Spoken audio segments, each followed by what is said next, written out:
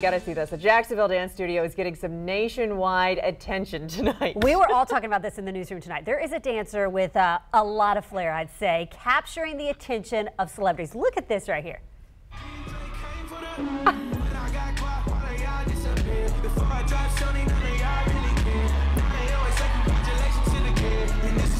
I mean, can he dance or can he dance? so this dance studio here in Jacksonville is called One Vibe Dance.